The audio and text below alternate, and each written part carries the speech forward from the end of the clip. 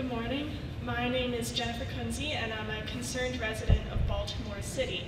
I want to thank you for the opportunity to testify today.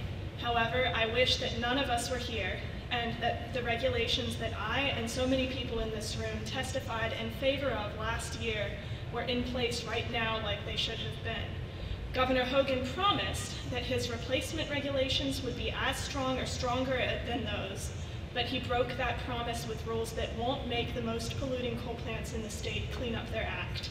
And that has completely unacceptable consequences for the health of people across Maryland.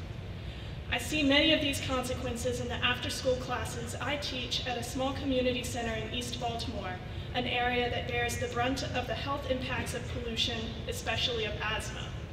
In my outdoor classes, I've experienced having kids unable to catch their breath after playing outside during the summer, or unwilling to play outside in the first place, justifiably, for fear of an asthma attack. And it's frankly terrifying to see that happening to my students. Tomorrow, our neighborhood's going to be rebuilding its playground, a project six years in the making.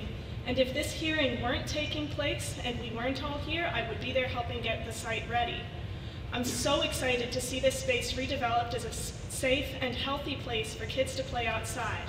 But you can't call it safe when something invisible like air pollution makes it dangerous for kids to play there. At a meeting at the neighborhood school a few months ago to choose the playground equipment, one of my third grade students was asked, when you play outside, how do you feel? She responded, kinda sad, because in the summertime, my asthma acts up. What the MDE decides about these regulations has real life-threatening and terrifying results for the kids, adults, um, kids and adults across the state of Maryland. No kid should have to grow up in fear of their own bodies betraying them like that for the simple act of playing outdoors. And the regulations we are considering today will result in 21 to 35% more pollution than the rules we considered last year. That's why the MDE must protect Baltimore and Maryland citizens by reinstating the previous regulations to protect my students and all the people of Maryland from unacceptable pollution hazards. Thank you.